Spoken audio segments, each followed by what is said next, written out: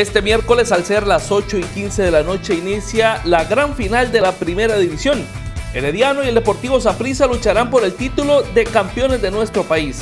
Los morados vienen de perder y esto les ha pesado de cara a la final, mientras que el Herediano viene con ganas y goleando en la última fecha, algo que crea una motivación extra. Consultamos a varios hombres del fútbol quienes piensan acerca de esta final. Ahí sí me da puso dura, porque son dos equipos que, que en realidad tienen tienen un potencial muy bueno, tienen buen material humano. Eh, son equipos que siempre van por el título.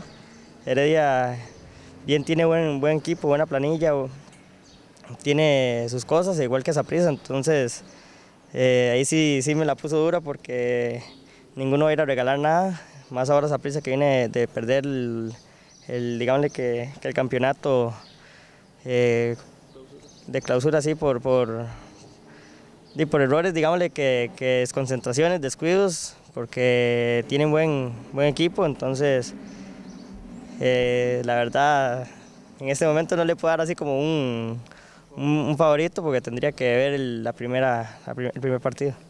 Bueno, sí, una, una, final muy disputada, ¿verdad? Lo que podemos ver eh, en estos dos, estos dos partidos de, del clausura de, de, la segunda división.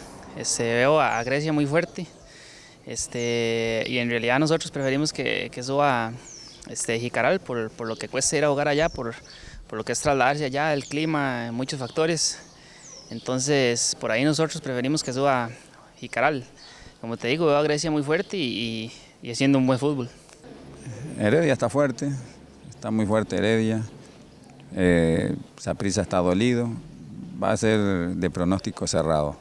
Eh, no va a haber mucha diferencia pero eh, considero que de los últimos años va a ser la, la final más pareja.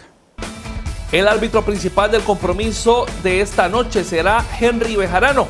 El juego de vuelta será el próximo domingo a las 3 de la tarde en el estadio Ricardo Saprissa.